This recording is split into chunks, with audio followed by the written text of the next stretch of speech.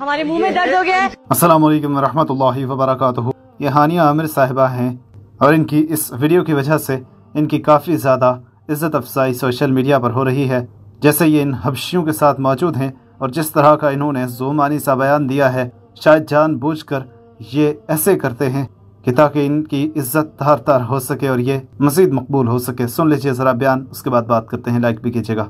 बहुत मज़ा आया हमने आज शूट किया है और आ, बहुत जंपे मारी हैं और बहुत हंसे खेले हैं।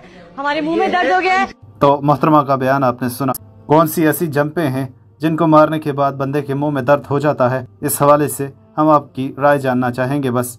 आप खुद समझदार हैं और इस बेगैरत दजाली मीडिया को जिसने हमेशा इस माशरे को बुराइयों पर लगाया है हम लोग ही एक्सपोज करेंगे हम लोग ही बेनकाब करेंगे तो हमारी नस्लें बच सकेंगी वरना आने वाला वक्त तो ऐसा शदीद तरीन है कि ये कंजर बुराइयों में हर हद पार करेंगे और इन्हें रोकने टोकने वाला कोई नहीं होगा।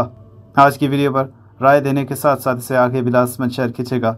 हो सके तो सब्सक्राइब कीजिए, साथ में बेल आइकन प्रेस कर दें। नोटिफिकेशन भी ऑल पे सेलेक्ट कर दीजिएगा।